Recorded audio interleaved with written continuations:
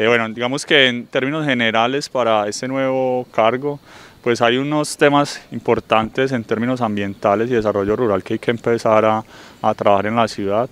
Eh, como lo he dicho, el tema del cambio climático es un proceso que, que, se viene dando desde hace muchos, mucho tiempo y el tema de empezar a implementar acciones contundentes para generar la adaptación a, a ese nuevo proceso, esa nueva realidad, pues es una de las tareas. Eh, en términos de desarrollo rural, pues hay un tema muy importante que es el proceso de seguridad alimentaria en el municipio. Eh, la idea es empezar a, a fortalecer todo el tema de producción sostenible, de buenas prácticas agrícolas y eso también está encaminado a esa, a esa línea de, de hacer a las comunidades más resilientes en términos de, de, adaptación al cambio climático. Hay un gran reto, Andrés, y es, eh, yo creo que usted lo ha podido notar últimamente, y es el tema de empezar a concientizar al ciudadano a apropiarse de su entorno,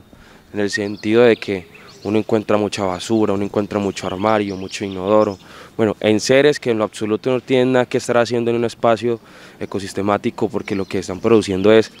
primero una contaminación y segundo una mala imagen también de ciudad.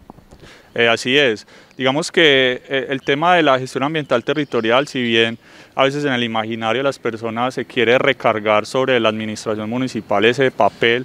eh, nosotros somos simplemente unos actores dentro de un conjunto de otros actores. La ciudadanía juega un papel sumamente importante porque nosotros como municipio, en alianza con la empresa prestada del servicio de aseo, se hacen las capacitaciones, se destinan los recursos para capacitar a las personas, generar conciencia, pero hay un tema con la comunidad y es que pues a veces, no son todos, pero hay unas personas que consideran pertinente dejar sus residuos en cualquier lugar.